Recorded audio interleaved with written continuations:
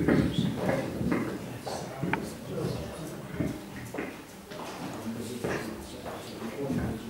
بالله تعالى من الشيطان الرجيم.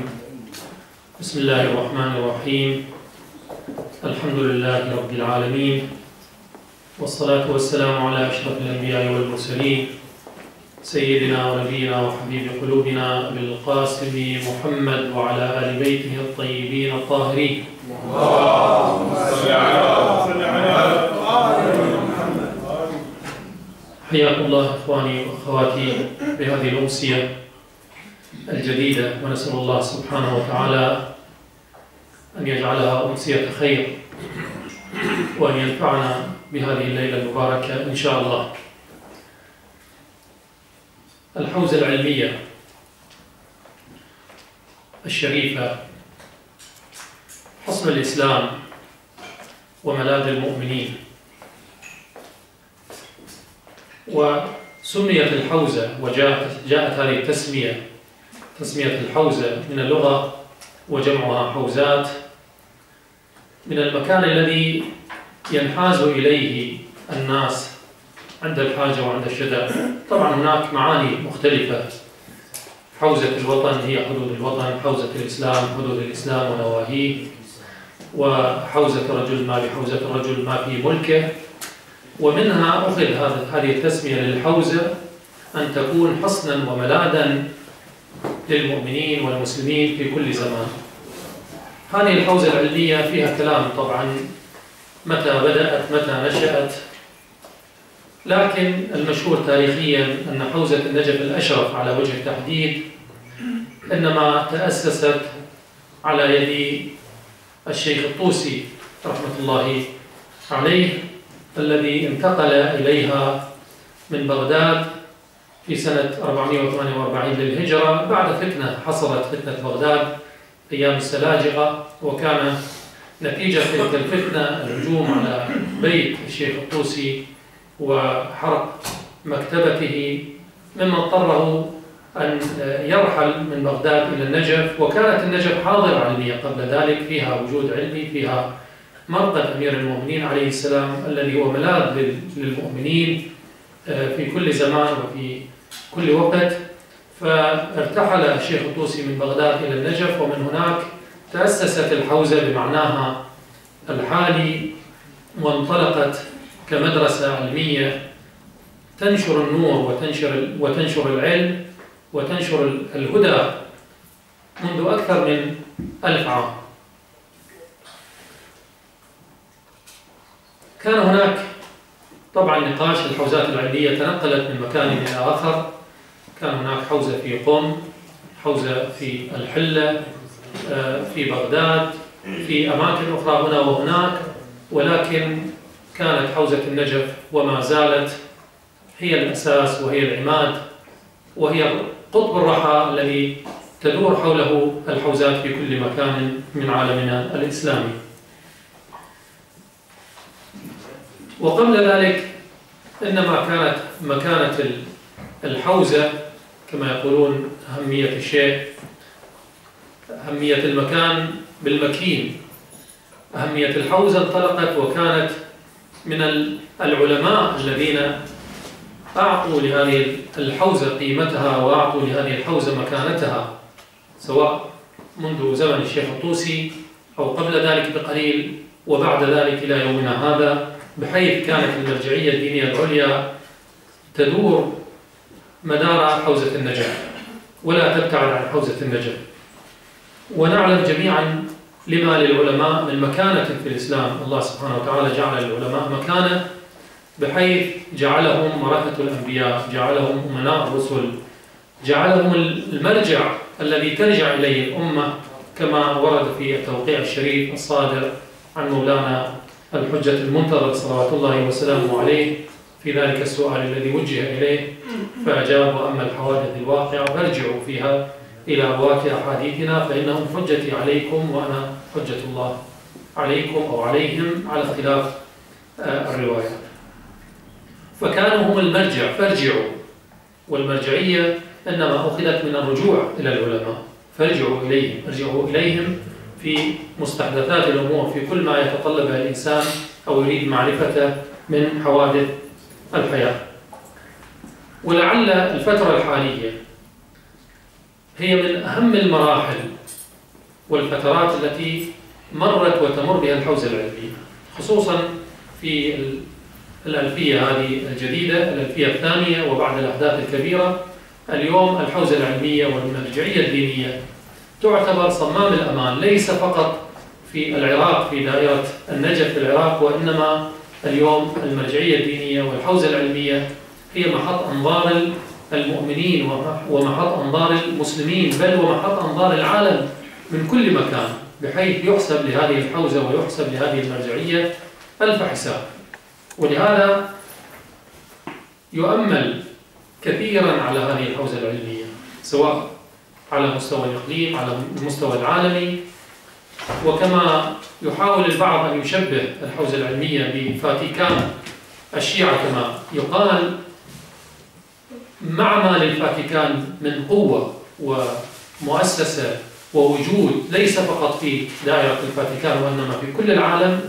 ومع ذلك قد نعتقد أن مكانة الحوزة وتأثير الحوزة والارتباط بالحوزة العلمية أكثر أقوى بكثير من آه، الارتباط الحاصل بين آه، الجماعات المسيحية والمذاهب المسيحية المرتبطة بالفاتيكان. ولذلك الحوزة العلمية والمرجعية الدينية لها أهمية كبيرة. ارتأينا في هذه الليلة أن نتحدث عن حوزة النجف وقضايا الأمة.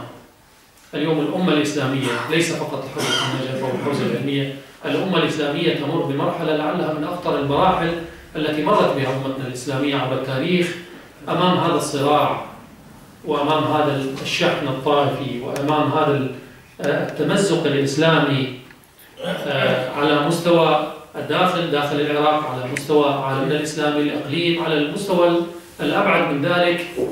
آه، اليوم فتنة عمياء تعصب بهذه الأمة.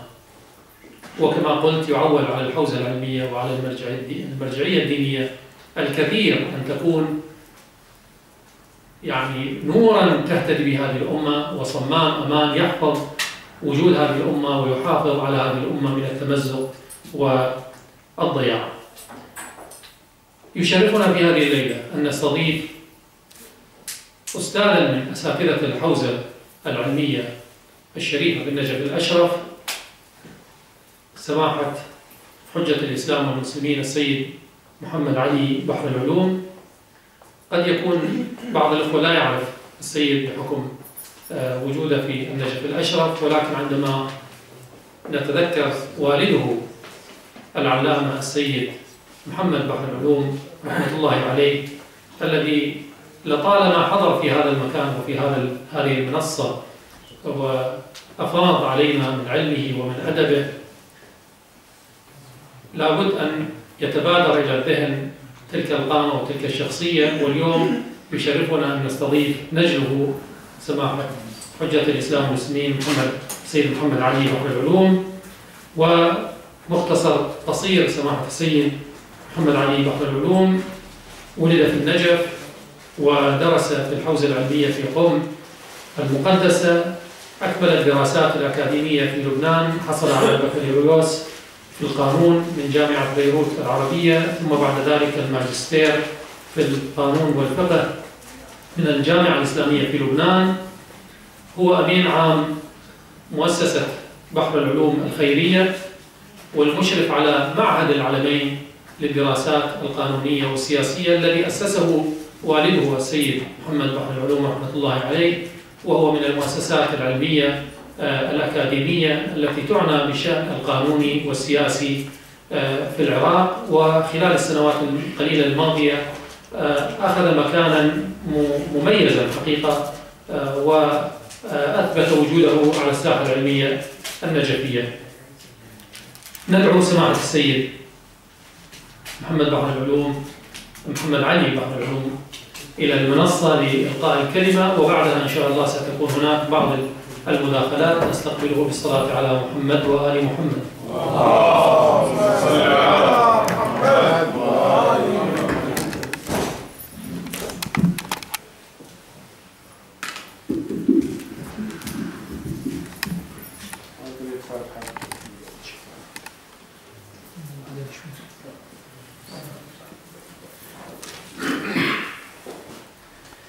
بسم الله الرحمن الرحيم. لله رب العالمين والصلاة والسلام على أشرف خلقه محمد وعلى آله الطيبين الطاهرين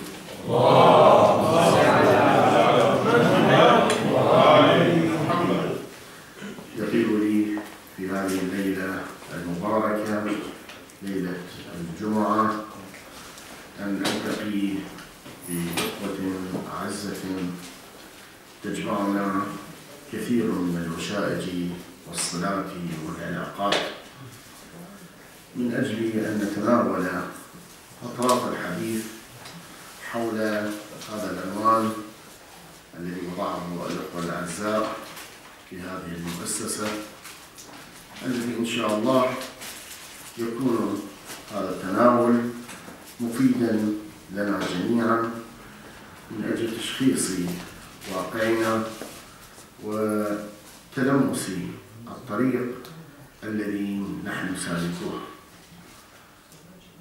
وأما الحوادث الواقعة فارجعوا فيها إلى رواة حديثنا فإنهم حجتي عليكم وأنا حجة الله من هذه الرواية ومن غيرها من الروايات نشأت هناك علاقة وثيقة بين الفقيه والأمة. بل أراد أئمة أهل البيت سلام الله عليهم منذ عصورهم وحياتهم. عندما كان السائل يسأل يأتي للإمام الصادق فيقول له يونس بن عبد الرحمن ثقة آخذ عنه معالم الدين فيقول نعم. أراد الأئمة أن تنشأ هذه الصلاة وأن تنشأ هذه العلاقة. وقال الإمام إني أحب أن تجلس في مسجد الكوفة وتفتي الناس. أي كان يدفع لأصحابه أن يقيموا العلم وينشروا العلم ويقيموا الدروس ويفتوا الناس ويجلسوا للإجابة عن مسائل الناس. في الكوفة عاصمة علي سلام الله عليه في هذه البلدة التي رأت أول أوائل الدروس العلمية والتي شهدت فقهاء مدرسة أهل البيت سلام الله عليهم منذ زمن الأئمة سلام الله عليهم. فكانت هذه النشأة وكانت هذه البدايات الأولى التي وضعها الأئمة لكي تستمر فيما بعد ولكي تبقى هذه العلقة وهذا الارتباط وهذه الثقة القائمة بين الأفراد وبين الفقيه. بين الأفراد وبين رجل الدين الذي اتخذ من مكان الدرس والمكان الذي يربى فيه الفقيه ويربى فيه ويتداول فيه علوم آل محمد عنوانا كما تفضل سماحة الشيخ عنوان الحوزة. تبقى هناك علاقة وثيقة وإن كانت هذه العلاقة ترتبط بالمرجع إلا أنها تتفرع من المرجع إلى رجل الدين إلى أفراد هذه الطائفة وأتباع مذهب أهل البيت. لكي تبقى صلات متواصلة ومرتبطة. ميزت هذه الصلاة وهذه العلاقة ميزت هذه المدرسة عن بقية المدارس. نحن نشهد في الحال الحاضر كيف تتحسس المذاهب الأخرى عن عدم وجود مرجعية ومحورية لفقيه لمن يرشدها الطريق فيأخذها كل إلى طرف ويأخذها كل إلى رأي فتتضارب الآراء وتتضارب الأفكار. لكن ما ميز مدرسة أهل البيت هي جعل هذه المحورية وجعل هذه المركزية للفقيه للمرجع ولحوزته ولرجال الدين في كل مكان.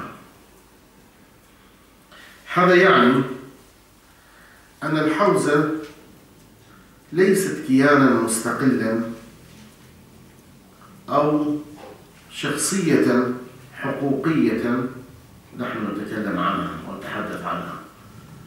وإنما نتحدث عن مدارس ومنتديات علمية ونتحدث عن أسلوب ومنهج في الدرس في التربية يقودها المرجع. لا نتحدث عن شخصية تسمى باسم مؤسسة الحوزة. ليست مؤسسة. إنما هذا الاصطلاح أطلق على هذه المجموعة التي تتداول ويتربى فيها طالب العلم وتكون موضعا لتخريج المجتهدين والمبلغين والخطباء والأساتذة والمحققين وغيرهم ممن يتداول الشأن الديني أجل البعض يسأل بعض السياح عندما يأتون إلى النجف يدخل الجامع يسألني وين هي الحوزة؟ وين هي الحوزة؟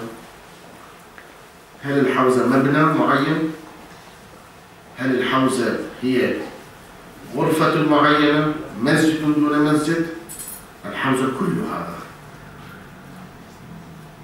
الحوزة هي هذا المكان الذي يتحقق فيه كل هذه الأمور. فلا تتقيد بمسجد دون مسجد حتى المنزل.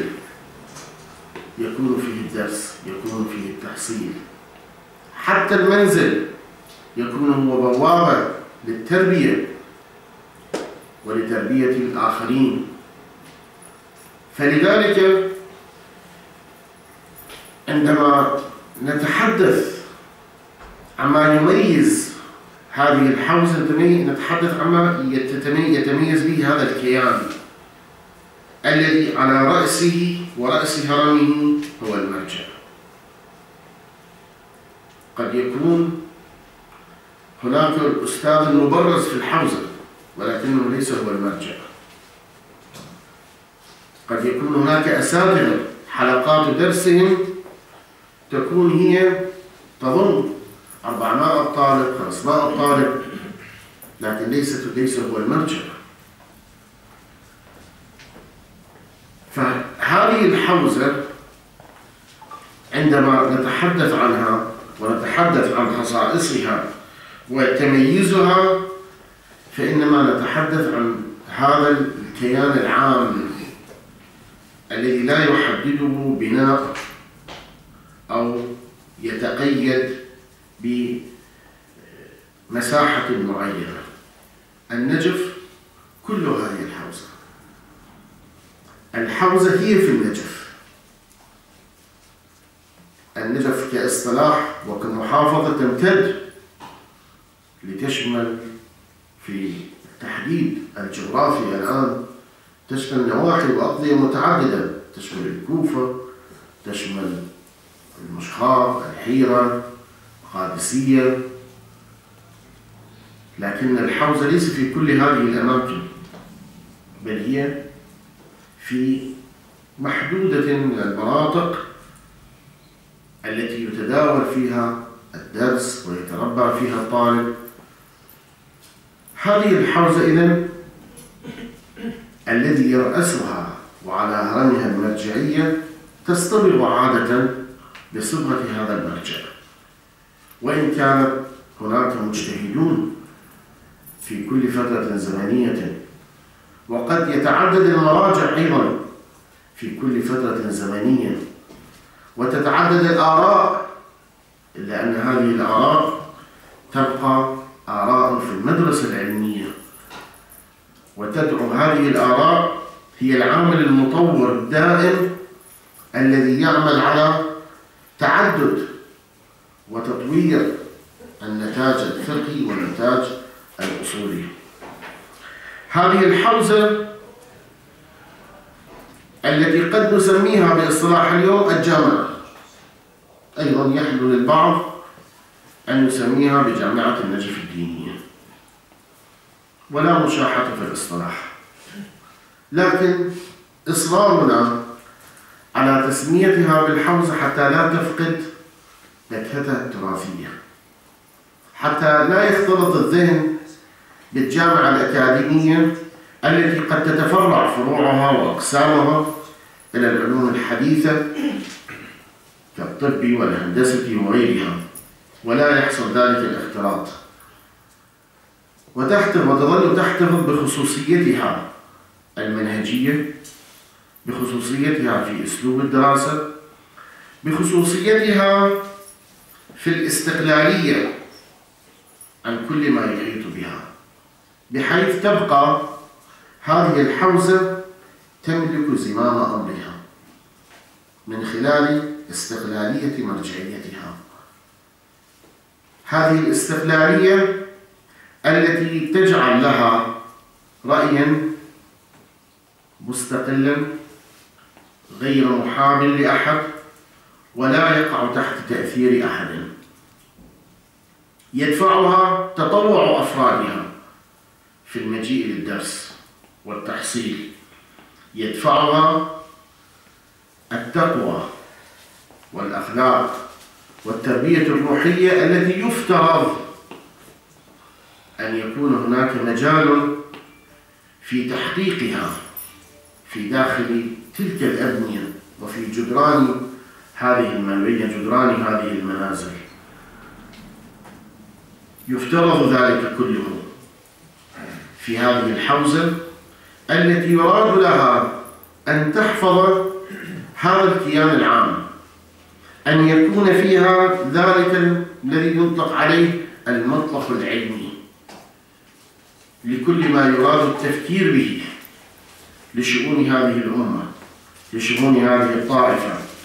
للحفاظ على هذه الهوية الإسلامية الشيعية يتم تداوله وبالرأي والتمحيص ومقاربة الآراء ومناقشتها بحرية كاملة وتامة في داخل أروقتها وأنديتها العلمية.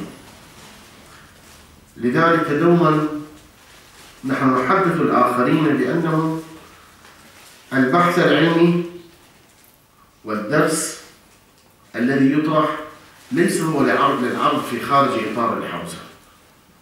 لأنه لا يعرض لا يعرض الرأي النهائي ولا وليس هو رأي للاتباع ولا رأي لكي ينشر إنما هي مداولات علمية قد يأتي في يوم يناقش الأستاذ مبدأ معينا ويتراجع عنه في اليوم الثاني ويفنده في اليوم الثالث. وهكذا طبقا للمداولات العلمية المختلفة.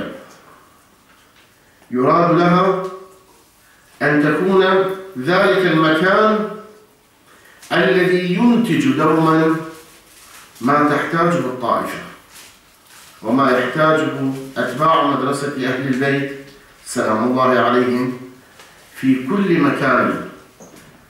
ويمكن إيجاد حلول لها فيرتبط بها الآخرون على بعد أمكنتهم وبعد وكثرة مشاكلهم وتعددها هذه العلاقة التي تنشأ والتي تجعل من المرجعية الدينية. والحوزة حينئذ على ارتباط وثيق بما تعانيه الأمة وبما تحتاجه الأمة.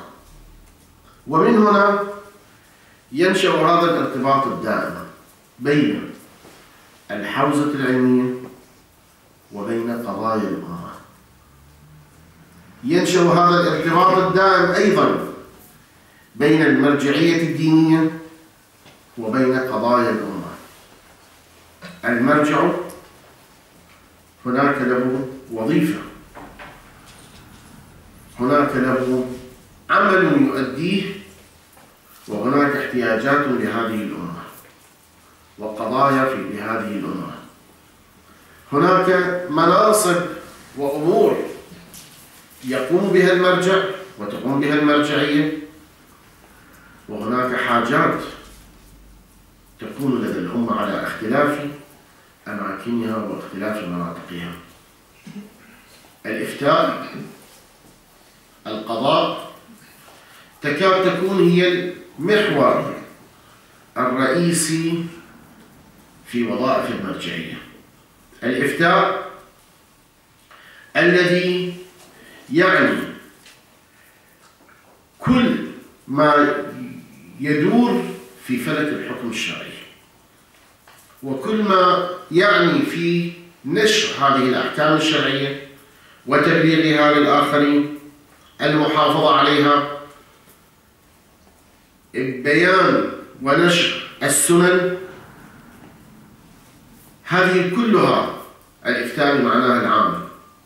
بكل ما يحتاجه الفرد ويحتاجه الإنسان في كل أفعاله في كل تصرفاته التي يحتاج فيها إلى حكم شرعي. يكون هذا من وظيفة المرجع وظيفة الفقيه أن يعمل على استنباط هذا الحكم الشرعي. والقضاء وفصل الخصومة وإنهاء المنازعات هذه أيضا وظيفة وظائف المرجع. وهناك وظيفة ثالثة. هذه الوظيفة الثالثة التي قد تختلف فيها الآراء وتتعدد فيها النظريات وهي إدارة شؤون الأمة. وبأي حد ولأي مستوى تكون إدارة شؤون الأمة. إذا أخذنا هذه الوظائف الثلاثة وجئنا إلى قضايا الأمة. وما يمكن أن تعنيه قضايا الأمة. ومشكلات الأمة. فيمكن بنظرة سريعة أن نجد أن الأمة قد تقسم قضاياها إلى ثلاثة أنحاء. اجتماعية ثقافية وسياسية. قد تكون هناك قضايا مشكلات للأمة تعود قضايا اقتصادية أيضا. البطالة أيضا هي من قضايا الأمة لكن هل من مهمة الفقيه أن يعالج البطالة؟ هل من الأمور التي يرجع فيها إلى الفقيه أن يحل المشكل الاقتصادي في البلد؟ كوظيفة أولية له قد يطرح الفقه النظام الاقتصادي الذي لا يتعارض مع الإسلام والذي يكون على طبق مبادئ الإسلام كما ألف الشهيد الصدر رحمة الله عليه اقتصادنا وأعطى نظاما للبنك اللاربوي لكن تطبيقه حل المشكل الاقتصادي الأكبر يعتمد على خبرات. بمعنى أن هناك مشاكل وقضايا للأمة تعود إلى الموضوع. تعود إلى تشخيص أهل الخبرة الذين يعود إليهم تخصصهم في حل هذه المشكلات. هناك أمور في هذه المناحي الثلاثة التي يمكن أن تعود إلى الفقيه. في المشكل الاجتماعي والقضايا الاجتماعية في العلاقات في شؤون الأسرة في أمور الأيتام في المساعدة على حل وإيجاد بعض الحلول لبعض المشاكل الاجتماعية التي يمكن أن بها. وتشارك بها الحوزة أيضا من خلال دراسات من خلال أبحاث يمكن أن يكون فيها نفع ويمكن أن يكون فيها صلاح لبقية الأفراد. مؤسسات الأيتام التي رعاية الأيتام. هنا في ديننا وفي مبادئنا أن هناك أمور مشتركة أيضا. الأفراد أيضا يفكرون في حلها. ويدخل أيضا على صعيد رعايتها. فهنا تنشأ روح المبادرة التي يشجعها الفقيه وتشجعها المرجعية في أن يقوم الأفراد بإبداء وتأسيس ما يمكنه أن يحل الكثير من المشاكل الاجتماعية. كلكم راع وكل مسؤول عن رعيته. هذا المبدأ أيضا الذي لا يجعل من الفرد هو عنصر متلقي فقط في مجال التنفيذ ومجال العمل. وإنما في كثير من الأمور يجعله صاحب مبادرة يجعله صاحب خطوة هو يقوم بها. يتجمع الأفراد في إنشاء مؤسسات إنشاء كيانات تنفع المجتمع. نشأت هذه المؤسسات؟ قد لا تنشئها المرجعية. تنشئها الأفراد متمكنون لكنها في هذا الإطار الذي يدخل في ضمن الإطار النفع العام الذي يستفيد وينتفع به المجتمع. في المشكل الثقافي والقضايا الثقافية الحفاظ على العقيدة رد الشبهات. نشر الأحكام الإلهية. العمل على كل ما يحصن العقيدة الإنسانية وعقيدة المؤمن وإيمانه بالله سبحانه وتعالى. هذه أيضا نجدها من القضايا التي تقوم المرجعية بل هي من صلب وظيفتها. في نشرها في الحفاظ عليها في تهيئة الأمور لطباعة الكتب المختلفة في الحفاظ على الأفكار الصحيحة منع الشبهات من أن يكون لها موضع وتنفذ من خلال الثغرات المختلفة. هذه أيضا توجد الآن في داخل الحوزة أيضا مراكز لهذه الدراسات. تقوم بجدولة الشبهات جدولة الإشكالات الانحرافات الآراء التي ضاد الدين يتم أيضا الجواب عنها تهيئة الجواب عنها. أيضا تربية المبلغين الذين والخطباء الذين يحتاجهم المجتمع في أماكن كل المجتمعات من أجل رفض الحالة الثقافية ودعم الحالة الثقافية وصيانة والمحافظة وصيانة الفكر الاعتقادي لأبناء هذه الطائفة.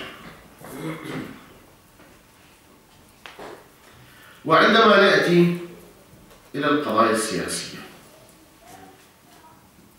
ونأتي إلى هذا المحور الذي لا نجد فيه رأيا محددا المرجعيات والفقهاء على طول هذا الخط. عندما نلاحظ كيفية مواجهة الشأن السياسي لفقهاء ومراجع الدين خلال الألف سنة نجد هناك تنوع واختلاف في كيفية مواجهة هذا الشأن. وليس على طريقة إدارة الظهر وعدم الاعتناء وإنما يختلف باختلاف الظروف الزمانية التي تحاط بكل أمة وبكل مجموعة. فالظروف الزمانية التي تحيط بالمجتمعات الشيعية تختلف باختلاف أماكنها. في إيران بشكل معين في العراق بشكل معين في السعودية بشكل معين في البحرين بشكل معين في المجتمعات الشيعية في أوروبا بشكل معين. فليس هو مبدأ ثابتا يحكم هذا هذه العلاقة. وليس هو مبدأ واحد يمكن أن يتخذه وموقف واحد لكل هذه الأمكنة وإنما يتنوع. إذا نلاحظ مثلا نقرأ في التاريخ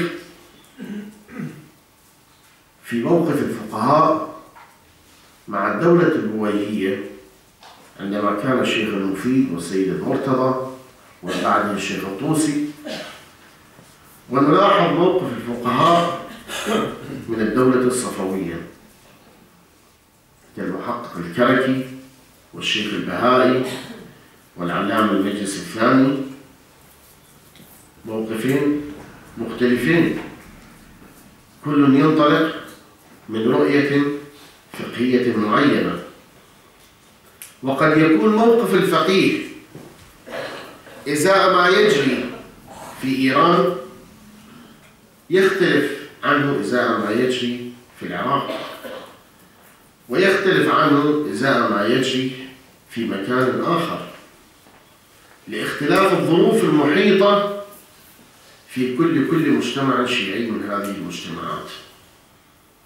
بمعنى أن هناك نوع من المرونة في معالجة قضايا الأمة من الجهة السياسية. لكن هذه المرونة لا تبتعد عن المحافظة على الأمة والمحافظة على أرواحها وعلى مكانتهم في كل منطقة منطقة على حدة. هذه المرونة التي تجعل من الفقيه دوما متكلما بلسان الأمة وليس مدافعا عن موقف الحاكم.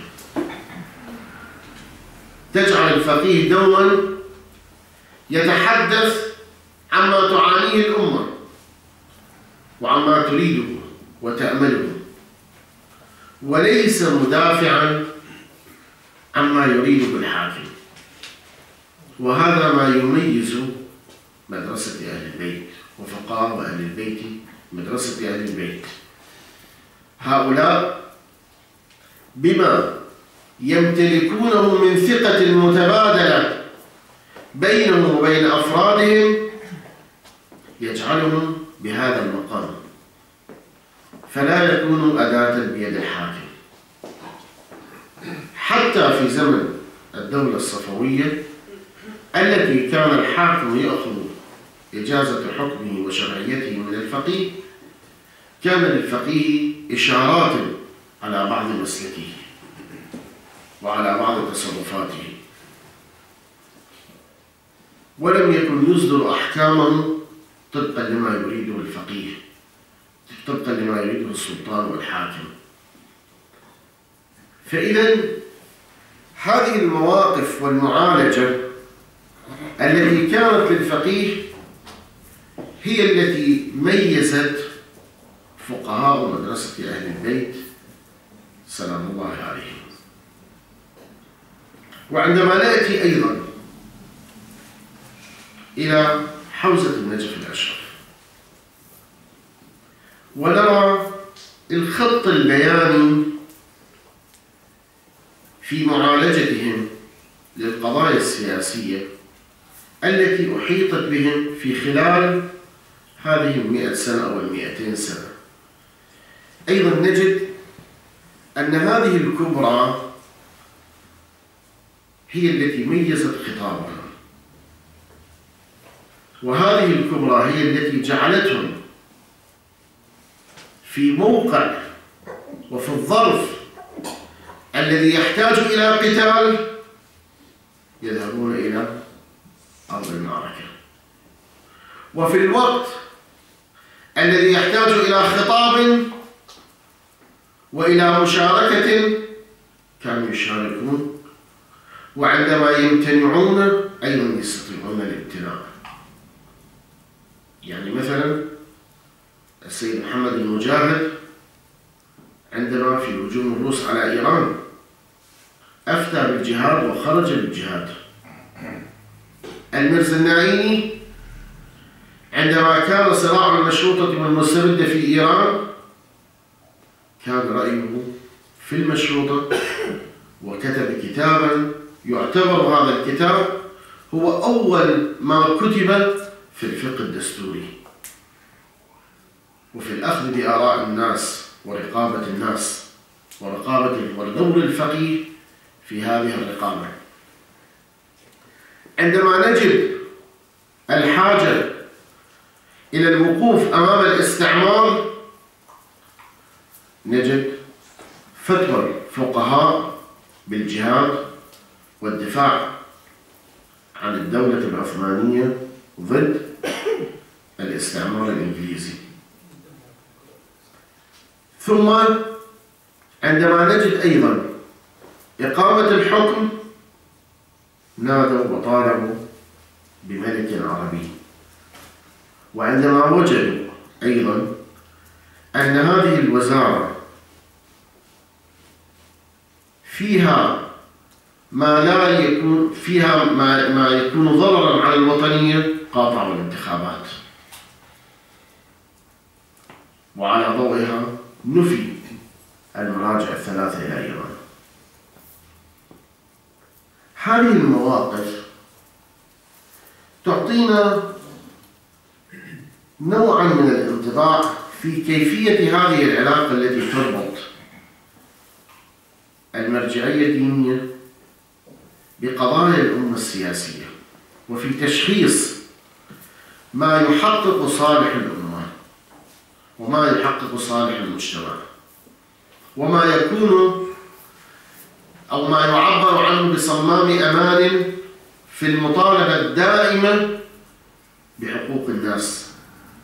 وما يمكن أن يحقق وكيفية تحقيق هذا الحق وكيفية الدفاع عن هذا الحق. من هنا هذا الذي نقول عنه أنه يميز هذه الحوزة الدينية بمرجعيتها يجعل نوع من المرونة التي تصل إلى حد القتال وفي موقع السلم المشاركة أيضا أو الامتناع أو الإشارة أو التوجيه أو الإرشاد أو النصيحة أو الدخول في هذا المعترك السياسي. إذا هي نوع من المرونة الحاكمة التي تجعل هناك تشخيص وتعطي إمكانية التشخيص وإمكانية العمل في كل مجتمع من المجتمعات على ضوء ما فيه صالح لهذا المجتمع. قد الوصفة التي تصلح لإيران لا تصلح للعراق والوصفة التي تصلح للعراق قد لا تصلح للبحرين والوصفة التي تصلح للسعودية قد لا تصلح يعني المجتمع الشيعي هنا وهناك قد لا تصلح لمجتمع آخر. لكن كلها يحدها هذا الحد وهو مراعاة مصالح الأمة ومراعاة الدفاع عن هذه الأمة. وهذا نرجع إلى نفس هذه الثقة المتبادلة هي التي تحفظ هي التي تحفظ لهذا المجتمع تماسكه وتحفظ لهذا المجتمع وتحفظ لهذه الأمة وحدتها. حتى لو اختلفوا سياسيا فإنه يبقى هذا يبقى وجود هذه المرجعية ويبقى رجوع الناس إليها هو الأمل وهو الصمام الذي يقيهم من تفكك حالهم. ما يحدث في العراق الآن مثالين. ما حدث ما يحدث في المحافظات الأنبار وصلاح الدين والموصل على طول الخط في الأربعة عشر سنة. تارة القاعدة جاءت ثم بعد القاعدة ضياع في الموقف. ثم جاء داعش. هذه كلها حتى بات الجميع يقولون أن السبب في ذلك هو عدم وجود مرجعية. لهم. بنايا أنتم أيها الشيعة محفوظين بسبب وجود المرجعية. هذا الذي هو موجود الآن في محللين عندما يذكرون ويقارنون هذه الأربعة عشر سنة ويقارنون بين المحافظات وما جرى فيها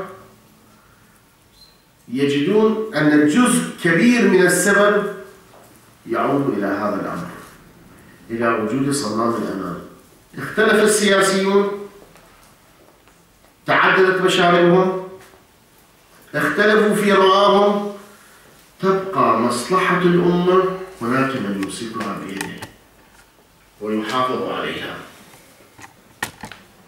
هذا لا يوجد لدى المذاهب الأخرى.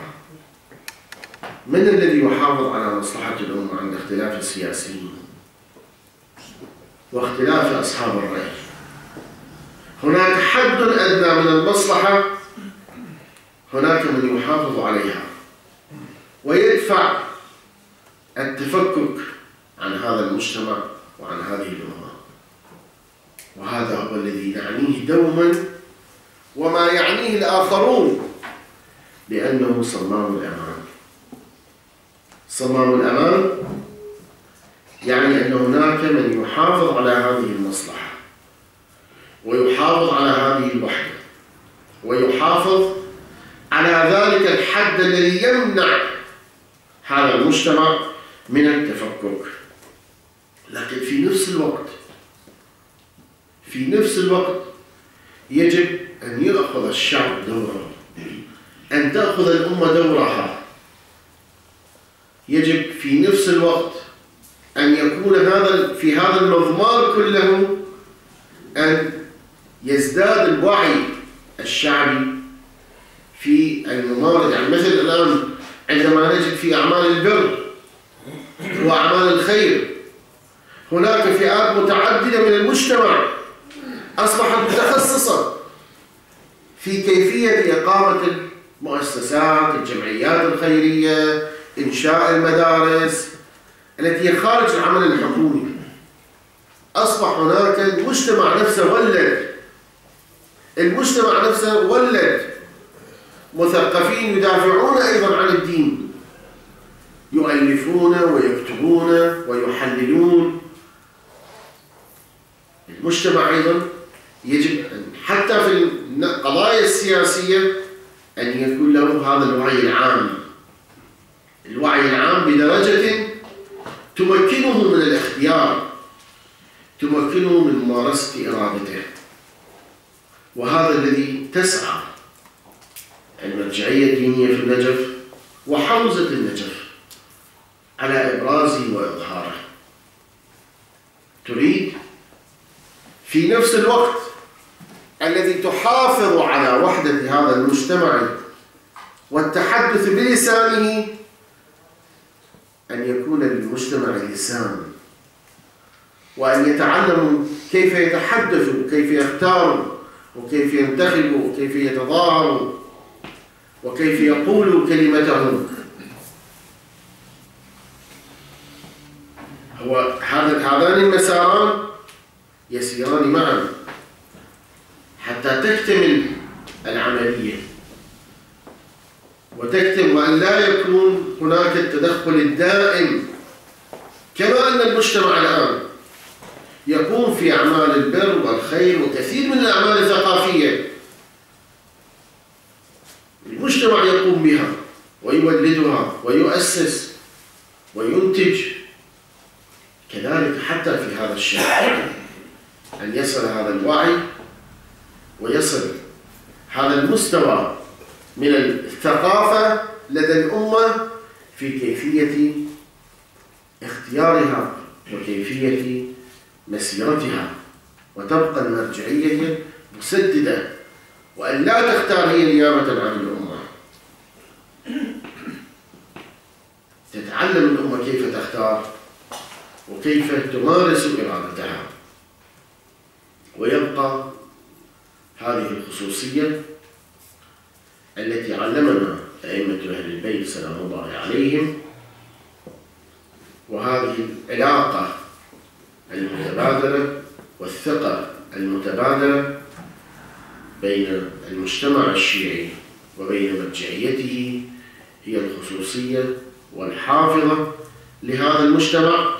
حافظت على بقائه من الغيبة الكبرى إلى يومنا هذا وإن شاء الله تحافظ على بقائه إلى أن يرث الله الأرض وما علوم عليها.